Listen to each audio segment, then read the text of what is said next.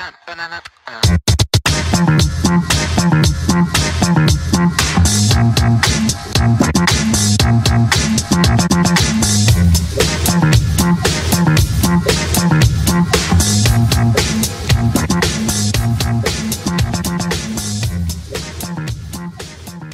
Salut tout le monde, salut à tous, bienvenue à la taverne. Aujourd'hui, euh, une vidéo un peu spéciale puisque on va faire la présentation du salon des jeux d'histoire et de figurines qui aura lieu du 10 au 12 mars à Lavore avec Nicolas, euh, son créateur. Donc Lavore, c'est dans le c'est dans le sud-ouest de la France, pas loin de Toulouse, c'est ça? Dans le Tarn, Dans le Tarn, voilà. Donc euh, première édition de ce dans ce salon euh, alors Nicolas, euh, quelles sont les, origines de ce salon et c'est avec quelle, volonté vous avez voulu euh, de faire ce salon? Pourquoi? Eh bien en fait, l'idée du salon est venue d'un pari sur lequel nous avons dit banco. En fait, la proposition venait du maire de Lavore, M. Bernard Carayon, qui, qui avait été enthousiasmé par une, par une prestation de, de jeu de stratégie qu'on avait faite pour, pour l'année Napoléon. Et donc, sur sa, proposition, on a, avancé l'idée d'un salon qui soit dédié aux jeux d'histoire et aux jeux de figurines par, extension. Voilà.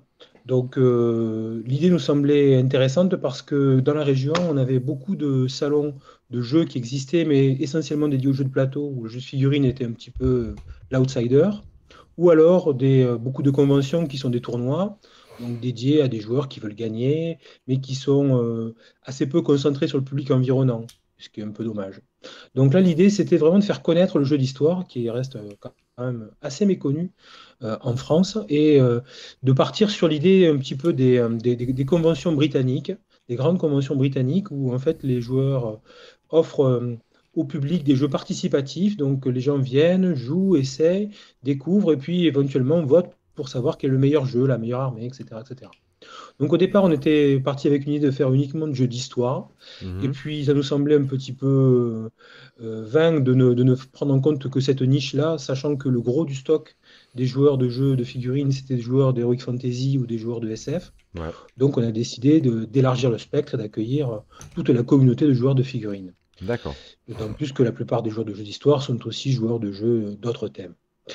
Et euh, comme la mairie de Lavore nous offrait la possibilité d'avoir deux salles, non seulement la halle d'Occitanie, qui est la salle des fêtes euh, qui, est au centre de Lavore, mais aussi la halle Grain, qui est une salle de spectacle euh, qui se trouve juste à côté, bon, on est parti avec l'idée de faire finalement aussi un cycle de conférences pour justement donner une autre vision du jeu que simplement celle de, table de jeu. D'accord. Voilà. Donc, possibilité de participer, hein, si vous venez sur le lieu, vous allez pouvoir vous déplacer de table en table ou dans différents espaces et vous allez pouvoir ben, comme ça tester, regarder et euh, pouvoir euh, ben, participer vraiment au, jeu de figurines. Peut-être quelques exemples de, de, tables qui vont être présentées ou de jeux qui vont, auxquels on va pouvoir jouer? Tout à fait. Donc, on a, on a décidé de mettre en place trois, trois zones de jeu.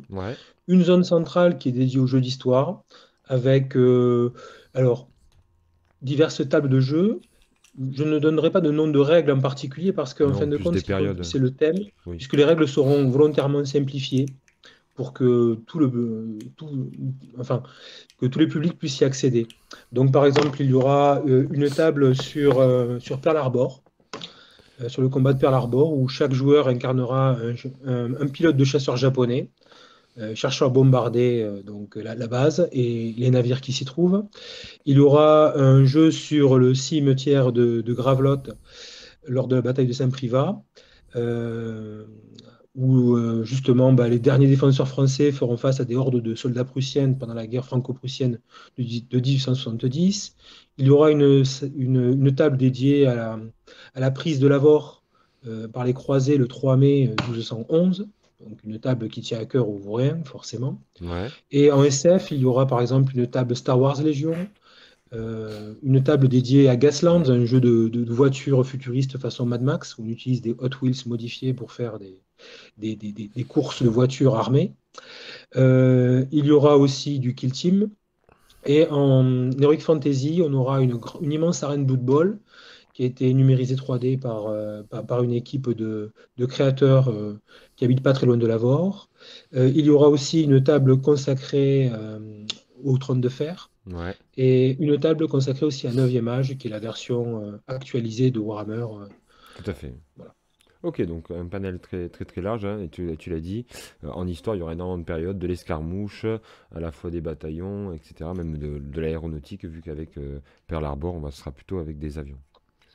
Tout à fait, on aura aussi du Congo, du Saga. Mm. Euh, on aura notamment parmi, euh, parmi les joueurs, de, les animateurs de, Saga, euh, des gens qui sont d'Albi et qui sont les créateurs de, plusieurs suppléments. Par exemple, on aura Sébastien Coels qui est créateur du supplément Chaco et Bayonnette pour, pour Mousquet et Tomahawk. On aura aussi deux autres albigeois qui sont créateurs du Age of Viking et du Age of Alexander de, de Tomahawks. Super. Voilà. On aura euh, aussi des boutiques qui seront présentes. Ouais, bah, ça me permet de euh, peut-être, euh, bah, avant de parler des boutiques, peut-être un moment tu as évoqué au tout début les conférences. oui. Peut-être que tu peux en, parler un petit peu? Tout à fait. Alors cinq conférences sont prévues. elles s'étalent sur deux demi-journées, donc à la fois le samedi après-midi et le dimanche en, fin de matinée. Elles sont donc, il y aura d'abord une conférence générale dédiée à, au jeu d'histoire. Qu'est-ce que le jeu d'histoire? Présenté par Jean Renaud, qui, qui écrit pas mal d'articles dans Vaevictis. Euh, il y aura ensuite euh, une présentation du, euh, de la, du, jeu et de la vulgarisation du jeu par Quentin Sancier, qui est un, qui est un YouTuber qui nous vient de Paris, qui vit maintenant de, de, sa chaîne YouTube qui s'appelle Sur le Champ. Oui, je pense que tout donc, qui présentera la vulgarisation du, du Wargame, qui est qui est, qui est son dada et euh, dont, il est féru, parce qu'il se sert très souvent du wargame pour présenter l'histoire militaire. Euh, il y aura aussi euh, Laurent Lano qui nous présentera les aspects juridiques du jeu d'histoire et, les questions éthiques que pose le jeu d'histoire avec Jouer n'est pas un jeu. car si on joue au jeu d'histoire, peut-on tout jouer? Est-ce qu'on peut se passer de considérations éthiques? C'est quand même des, questions qu'on se pose quelquefois. Et euh, il y aura ensuite une présentation aussi du, euh, de la bataille de Dien Bien Phu. Euh, cette fois-ci encore par Jean Renaud, qui s'est rendu sur le champ de bataille et qui a, et qui a fait notamment des scénarios dessus. Il présentera d'ailleurs une table sur Dien Bien Phu. Et enfin, il y aura le Christian Pourcel, anciennement colonel Pourcel, qui va nous présenter donc l'association Le Souvenir Français, qui est notre partenaire sur l'événement donc, le Souvenir français, pour ceux qui ne connaissent pas, c'est une association qui s'est créée après la guerre de 1870 pour entretenir les tombes des, euh, des combattants qui ne pouvaient être entretenus. Donc, euh, c'est une des plus vieilles associations françaises. Elle a été créée en, en 1887. Et donc, euh, elle est notre partenaire sur l'événement. Il y aura d'ailleurs un stand du Souvenir français qui sera, qui sera là. Et une partie des recettes de, de l'événement, des recettes de la buvette, car le, l'événement est gratuit, mais il y a quand même une buvette, seront reversés au souvenir français pour l'entretien d'une tombe de soldats en déshérence. D'accord, super. Euh, Belle initiative. Donc, on teste les jeux, on découvre des jeux. Il y a aussi des conférences dans l'une des deux salles euh, sur la VOR. Et troisièmement aussi, tu l'as dit, hein, euh, c'est les partenaires avec les boutiques qui seront présentes, puisqu'il y aura une ou deux boutiques, je crois. C'est ça. Tout à fait. Il y a un peu, en fait, il y aura en l'occurrence quatre boutiques qui seront présentes. La Sabrotage de Toulouse qu'on ne présente pas. Euh, il y aura aussi Toby Figouze qui est, une, qui est un magasin en ligne. Euh, il y aura l'Entre du Hobby, ce sont des, euh, des, graveurs 3D qui habitent à côté de Lavore. Il y aura chez Donovan qui est le magasin de jeux de, de Lavore. qui lui aussi est partenaire de l'événement. Et enfin, dernière arrivée, il y aura aussi Massimo Costa, de Blackwatch Miniature, qui est un, graveur italien mhm. qui, euh, qui fabrique de, magnifiques figurines en, au 1,72e, sur les thèmes historiques. En fait, Ok, super. Donc euh, un panel là encore euh, très très large. Et je serai moi-même sur l'événement puisque je, je ferai des lives en direct sur certains jeux. Je ferai des interviews que vous pourrez retrouver soit le jour même, soit euh, les jours suivants, euh, puisqu'il y aura un reportage qui sera fait sur cet événement à Lavore. Donc voilà, on va faire, faire un peu euh, le point sur, cet événement sur la chaîne. Et donc pareil, on va, on va quand même pas mal en parler durant ce week-end, que ce soit en live ou dans les vidéos qui viendront par la suite. Donc il y a quand même des super choses qui s'annoncent pour cette première édition. Vous avez mis déjà la barre très très haut. Donc, euh, eh bien, au début, on pensait faire quelque chose d'assez petit, et puis finalement, la salle s'est vite remplie. Et bon, disons que c'est un coup d'essai, hein, et si, euh, si l'événement marche, Mhm. on espère de tout cœur que ça marche.